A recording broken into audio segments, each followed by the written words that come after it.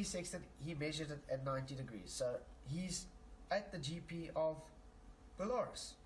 He's standing on a 180 degree horizontal plane. This would be based on his elevation angle.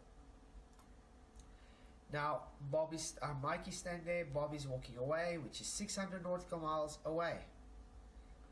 Is that 80 degree the same angular slope as that 90 degree? Obviously not. Every angle has its physical slope.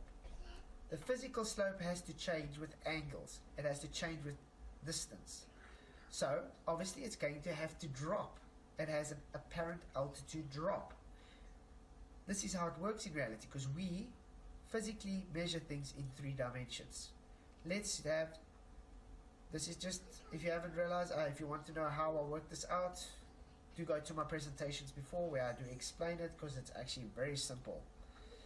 So we have Timmy walking away another 600 nautical miles, which now makes it 1,200 nautical miles.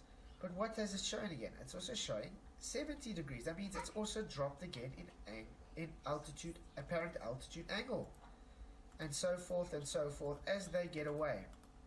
But what is the relationship you see here? It's very simple. For every 600 nautical miles they walk away, the angle is compressing more and more into the distance. Just like the angle is compressing more and more into the distance in altitude. Why is this?